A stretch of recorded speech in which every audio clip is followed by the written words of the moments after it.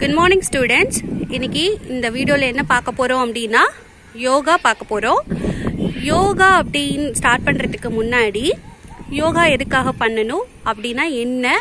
அது யார் மூலியமா நமக்கு வந்துச்சு அப்படிங்கறத நம்ம தெரிஞ்சுக்கலாம். சரிங்களா? ஃபர்ஸ்ட் யோகா பாத்தீங்கன்னா இது வந்து அந்த காலத்துல இருந்தே பாத்தீங்க அப்படின்னா நம்ம பண்ணிட்டு வந்துட்டு இருக்காங்க சரிங்களா? யோகா ஆசனங்கள் அப்படின்னு சொல்லுவாங்க. யார் இதை தொடங்கி வச்சாங்க அப்படிங்கிறது ஒரு ஆராய்ச்சி போயிட்டு இருக்கு ஆனா யார் மூலியமா வந்தது அப்படிங்கிறத ஒரு இன்ஃபர்மேஷன் சொல்லியிருக்காங்க. என்ன அப்படின்னு பாத்தீங்க அப்படின்னா நமக்கு தெரியும் கேள்விப்பட்டிருப்பீங்க. பதஞ்சலி மகரிஷின்னு ஒருத்தர் இருக்கிறாரு. அவர் பார்த்தீங்கன்னா சித்தர். அவர் வந்து பார்த்தீங்க அப்படின்னா அவரால் தான் நமக்கு வந்து இந்த யோகா ஆசனங்கள் இந்த யோகா வந்து நமக்கு கிடைச்சிது அப்படின்னு சொல்கிறாங்க அவர் எழுதி வச்சுட்டு போன அந்த இதுகள் குறியீடுகளில் தான் நமக்கு கிடைச்சிச்சு அப்படின்னு சொல்கிறாங்க ரிசர்ச்சில் ஸோ அதனால அவர் என்ன பண்ண அவர் என்ன சொல்கிறாங்க அப்படின்னா ஃபாதர் ஆஃப் யோகா அப்படின்னு சொல்கிறாங்க ஃபாதர் ஆஃப் யோகா அப்படின்னு சொல்கிறாங்க ஆசனங்கள் அப்படின்னா யோகா ஆசனங்கள் அப்படின்னா ஒன்றும் கிடையாது. நம்ம எக்ஸசைஸ்லாம் பண்ணுவோம் இல்லையா? உடலை நல்லா அசைச்சு ஆடி ஓடி விளையாண்டு நம்ம வேகம் வேகமாக எக்ஸசைஸ் பண்ணுவோம் இல்லையா? ஸோ அதையே நம்ம வந்து நிறுத்தி நிதானமாக மெதுவாக நம்ம பண்ணோம் அப்படின்னா நிறுத்தி நிதானமாக நம்ம பண்ணோம் அப்படின்னா அதுக்கு பேர் தான் யோகா. அதில் யோகாவில் நம்ம செய்யக்கூடிய அந்த ஆசனங்கள் யோகா ஆசனங்கள்னு சொல்லுவாங்க. ஸோ நம்ம நிறுத்தி நிதானமா பண்ணக்கூடிய அந்த ஆசனங்களுக்கு பேரு யோகாசனங்கள். சரிங்களா?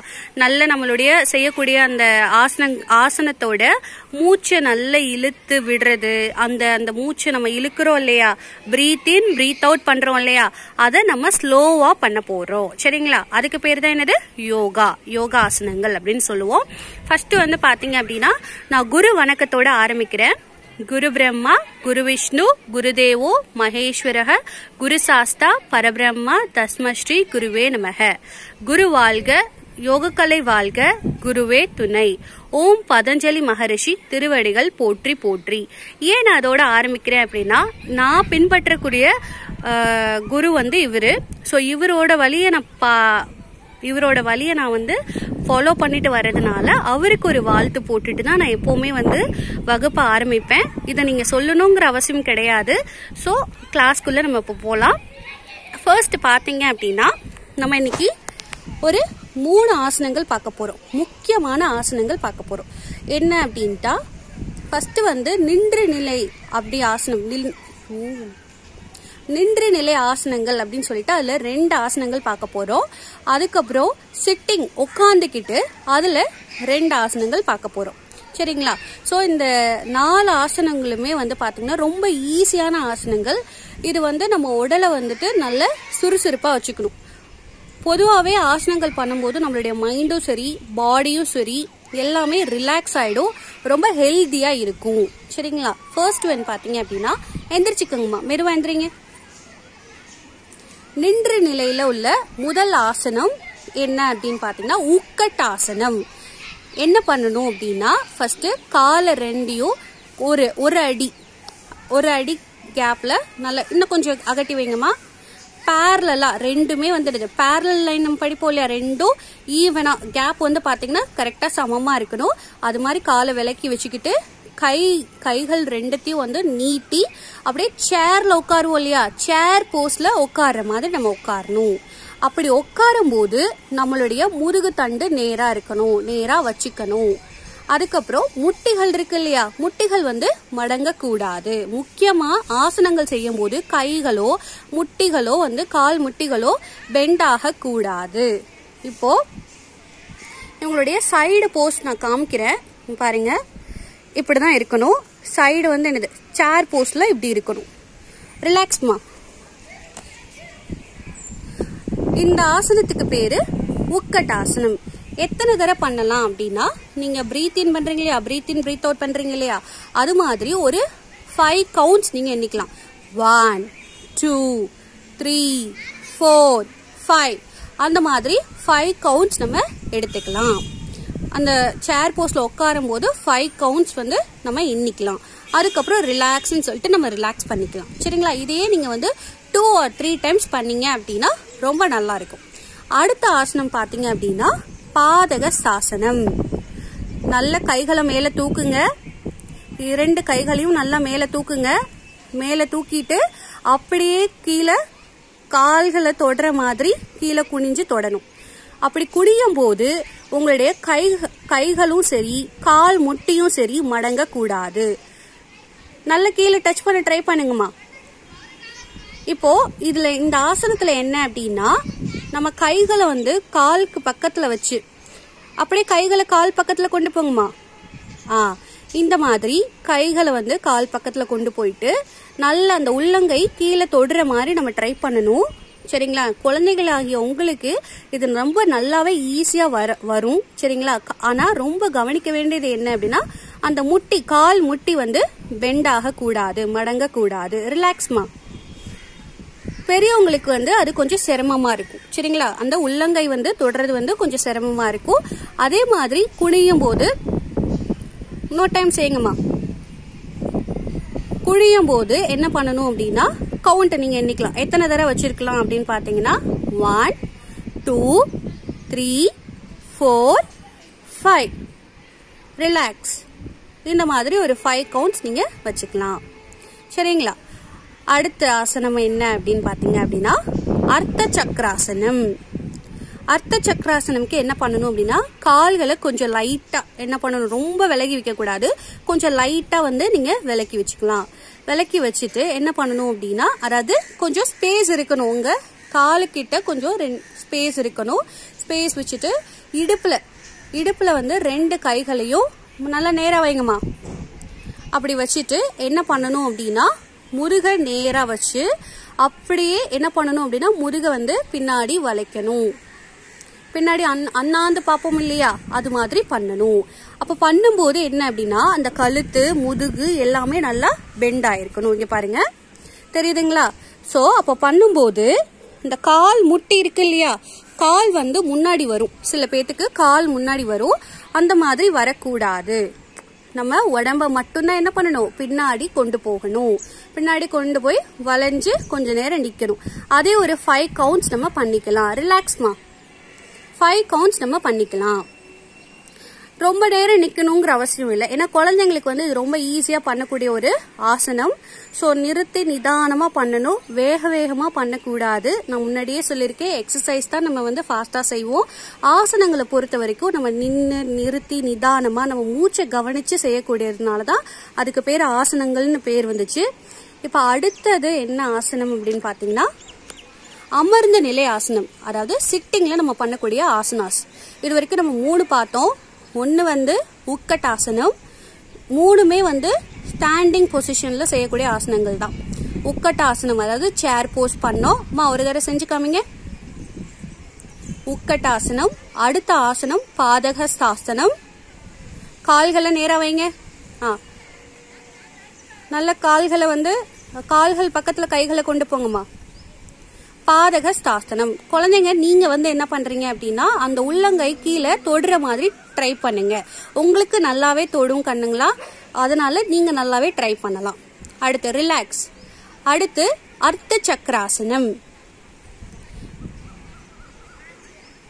நல்ல முதுகு மட்டும்தான் பெண்ட் ஆகணும். இங்க பாருங்க இந்த அக்காக்கு கால்கள் வந்து முன்னாடி வராது வரக்கூடாது.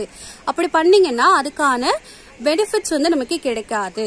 ஸோ ரிலாக்ஸ்மா இந்த ஆசனங்கள் பண்ணும்போது இந்த உக்கட்டாசனம் பாதகசாசனம் இந்த அர்த்த சக்கராசனம் பண்ணும்போது நமக்கு பாடியில பிளட் சர்க்குலேஷன் வந்து மேல இருந்து கீழே வரைக்கும் பாயும். அதுவும் நம்ம பேக் சைடு நம்ம பெண்ட் ஆகும்போது நம்ம ஃபேஸ்ல வந்து பாத்தீங்க அப்படின்னா அந்த பிளட் போகிறத நம்ம ஃபீல் பண்ணலாம். பெரியவங்க பேரண்ட்ஸ் நீங்க பாக்குறீங்க ஸ்டூடெண்ட்ஸோட நீங்க உட்காந்து பாக்குறீங்க அப்படின்னா உங்க குழந்தைங்களோட பாக்குறீங்க அப்படின்னா நீங்களுமே இதை ட்ரை பண்ணலாம். ஆனா ரொம்ப ஃபாஸ்டா ட்ரை பண்ணக்கூடாது. மெதுவா நிறுத்தி நிதானமா பண்ணணும். மூச்சு காத்த கவனிக்கணும். சரிங்களா? அடுத்து உட்காருங்கம்மா. சிட்டிங் ஆசனாஸ் சிட்டிங் ஆசனாஸ்ல நம்ம என்ன பார்க்க போறோம் அப்படின்னா ரெண்டு ஆசனாஸ் பார்க்க போறோம். ஃபர்ஸ்ட் ஒன் பாத்தீங்க அப்படின்னா பத்மாசனம்.